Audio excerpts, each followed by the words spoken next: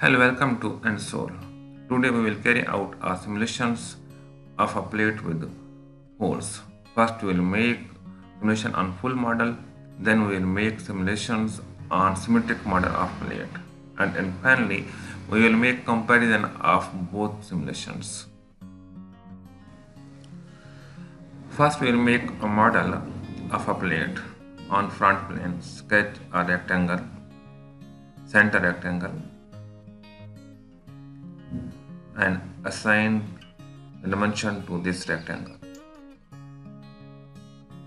Its length is 160 millimeter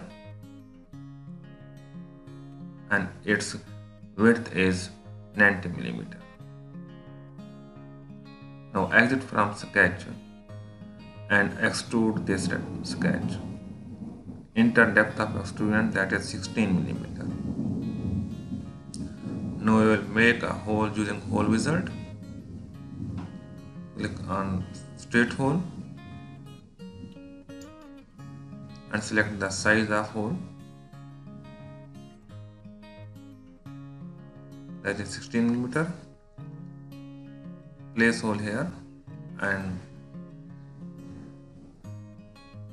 define its position from its edges that is 16 millimeter from both edges.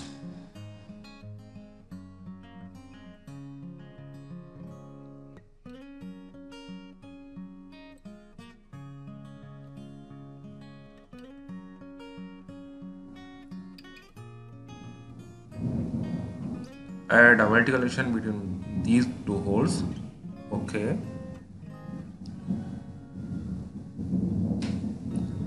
Now we will make mirror of these both holes about right plane. Select the right plane. So we complete our 3D model of a plate with holes. We will start simulations. Give it a specific name that is full model. Okay. Now first of all defines material that is aluminum alloy and define fixtures now. Select all internal faces are holes. Apply fixed boundary conditions. Now apply force. Select this face, reverse the direction and assign its value. Similarly, apply force on other end of 10,000 Newton but in opposite direction.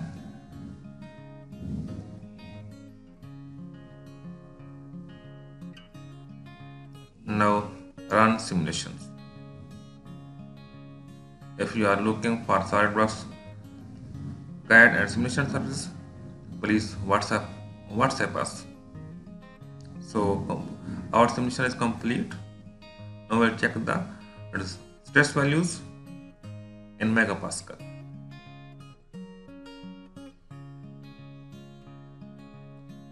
So maximum stress value is about 14.7 megapascal. Now we will check the displacement value. Maximum displacement occur at mid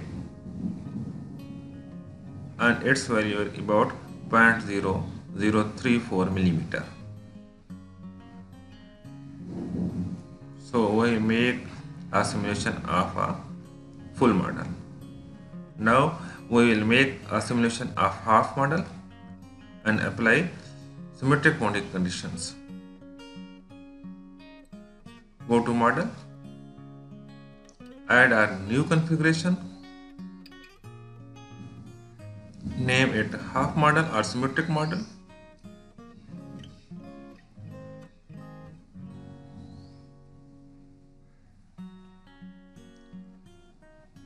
Again start a new, again start a new, sorry, make a corner rectangle.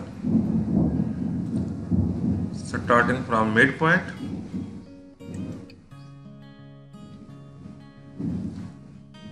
exit from sketch and make extrude cut through all. So we make a half model of that plate. Now go to simulations and start a new simulation study. Give it a specific name. That is symmetric model. Again assign a material to this. Same material will apply here on fixture. Apply fixed boundary condition on both surfaces of holes. Right click fixture fix boundary and go to advanced and select symmetry. Select this surface as a symmetry boundary you can see your model is showing a symmetry in the last we will apply force on this surface assign its value and change the directions. Now run your simulations and see your results of stresses and displacements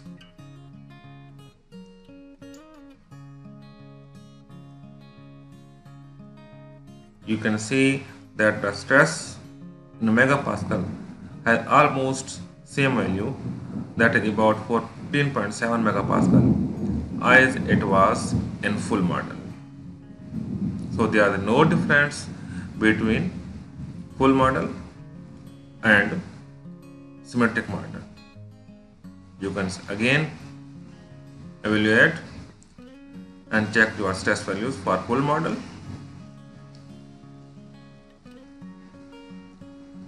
come back to the symmetric model configurations and again you can see the stress value for symmetric model. Similarly, will check the formation values.